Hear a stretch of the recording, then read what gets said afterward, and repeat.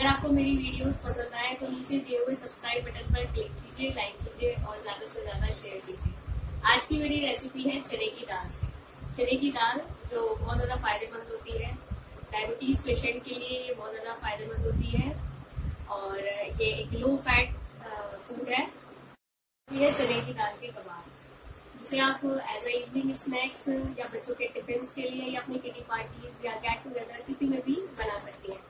अक्सर हम लोग रेडी टू कुक रेसिपीज़ या इंस्टेंट बनने वाली रेसिपीज़ सर्च करते हैं। तो आज की मेरी रेसिपीज़ इसी टाइप की है। तो चलिए बनाते हैं चने की दाल के कबाब। कबाब बनाने के लिए मैंने यहाँ पर लिया है ये आधी कटोरी दाल, जिसे मैंने भिगो कर रखा है तीन चार घंटे पहले। यानी कि आपको आधी कटोरी दाल तीन चार घंटे भिगोनी है। और आपको चाहिए ये कटी हुई अदरक, लगभग एक इंच का टुकड़ा है ये, एक डेढ़ इंच का। और ये चार कलियाँ लहसुन की, नमक रिफाइंड एक छोटा चम्मच। तो सबसे पहले हम अपनी ये भीगी हुई दाल को कुकर में डाल देंगे। भीगी हुई दाल डालने के बाद, अब मैं इसमें डाल देती हूँ ये अदरक के टुकड़े। बस ऐसे ही मैंने रफली इन्हें काट लिया है। और ये चार कलियाँ लहसुन की भी ऐसे ही जाएँगी इसके अंदर। और ये एक छोटा चम्मच नमक। और ये एक छोटा चम्मच रिफाइंड। यहाँ मैंने रिफाइंड इसलिए डाला है ताकि दाल उबलते टाइम निकले नहीं कुकर में से, और हम नमक इसमें बाद में भी डालेंगे, और अभी इस स्टेज पे हमने नमक इसलिए डाला है ताकि दाल अच्छे से गल जाए। तो अब बस इन सब चीज़ों को डाल के, देखिए मैंने इसके अंदर इतना पानी डाला है। बहुत ज़्यादा आपको पानी नहीं डालना है, क्योंकि हमें लगभग पाँच से सात मिनट इसे दाल को पकाना है। ये दाल पाँच से सात मिनट में पक जाएगी। लगभग दो या तीन सीटी आएँगी और उसमें दाल आपकी पक जाएगी।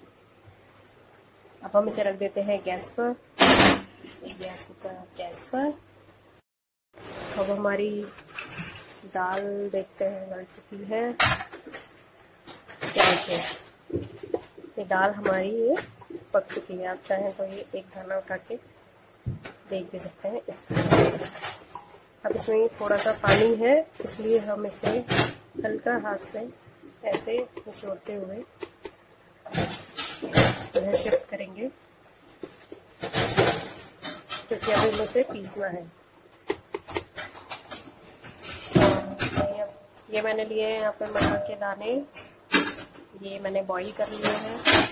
ये बॉयल मटर के दानों को भी मैं इसके अंदर डाल दूँगी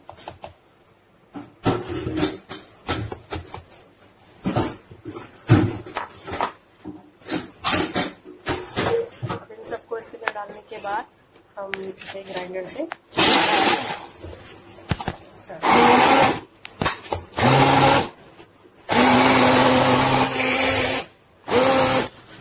अब हम इसे एक बाउल में ट्रांसफ़र कर लेंगे। हमने दाल ये इस बाउल में निकाल ली है। अब हम एक ब्रेड का स्लाइस लेंगे, इसे पानी में डिप करेंगे। हल्का हल्का सा, दोनों साइड से। अब इसको हाथ से ऐसे निचोड़ लेंगे कस के, सारा एक्स्ट्रा पानी निकल जाए ताकि अब इस ब्रेड को इसके अंदर डाल देंगे। ऐसे। अब हम इसके अंदर डालेंगे ये बेसन, दो बड़े चम्मच।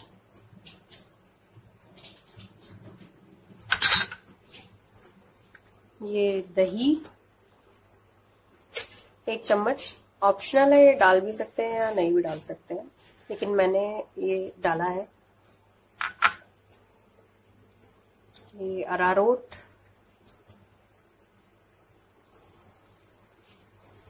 यहाँ पे मैंने ये चार छोटे चम्मच लिया है। ये गरम मसाला। डेढ़ छोटे चम्मच। ये चाट मसाला डेढ़ छोटा चम्मच, ये लाल मिर्च पाउडर, दो चम्मच छोटी। अब इन सबको डालकर हमें मिक्स करना है। अब इसमें डालेंगे हरी मिर्च, बारीक कटी हुई, हरा धनिया, बारीक कटा हुआ, दो छोटे चम्मच। और एक ये मध्यम आकार की प्याज बारीक कटी हुई।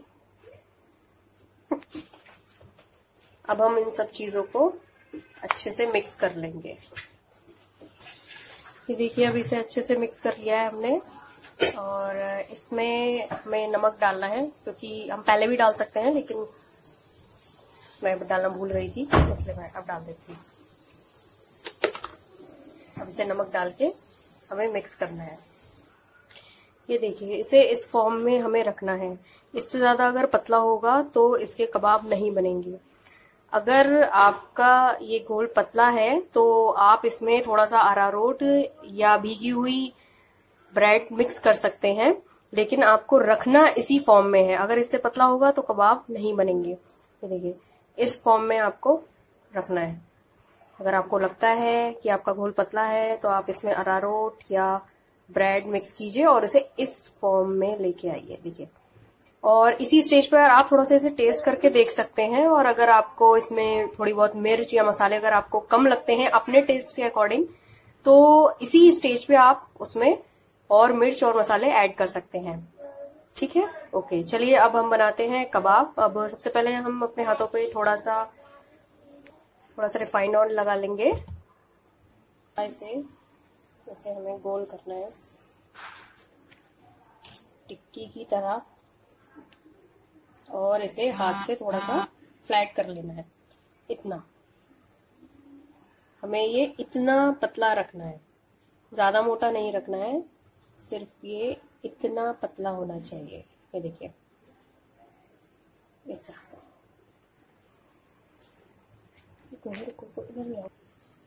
अब हम इसके बीच में एक काजू लगा देंगे। ऐसे हल्का सा प्रेस कर देंगे। और इस तैयार कबाब को, कच्चे कबाब को हम इस प्लेट में रख देंगे। और इस प्लेट पे मैंने पहले से थोड़ा सा रिफाइंड लगा के इसे ग्रीस कर लिया है ताकि ये नीचे से चिपके नहीं। अब सारे हमें ऐसे ही तैयार कर लेने हैं। ये देखिए, सब तैयार हो गए। इस तरह। इस तरह ये तैयार करके आप रख लीजिए। चलिए, अब इसे हम करते हैं फ्राई। सबसे पहले हम तवे पे रिफाइन डालते हैं, क्योंकि हमें ये कबाब तवे पर बनाने हैं, कढ़ाई में नहीं। तो ये कबाब हमारे तवे पर ही बनेंगे, इसलिए सबसे पहले तवे पे रिफाइंड डालिए। हमारा तेल गरम हो चुका है, अब हम इसमें डालेंगे कबाब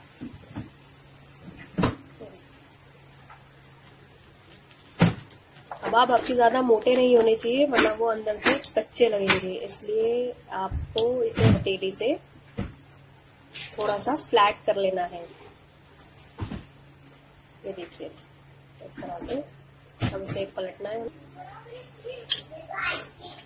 ये देखिए, कितने अच्छे तरीके से ये सिक रही है।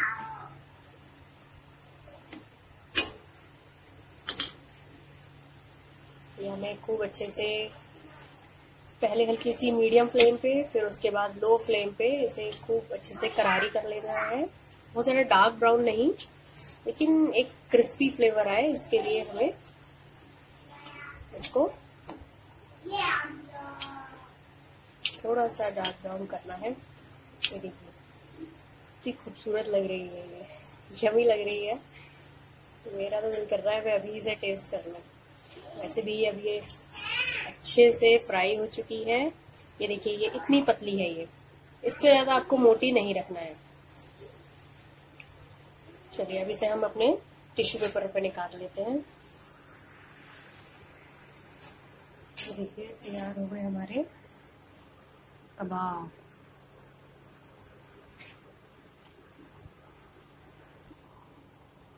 देखिए, अंदर से भी सो मच यमी इसका टेस्ट बहुत ज़्यादा अच्छा है।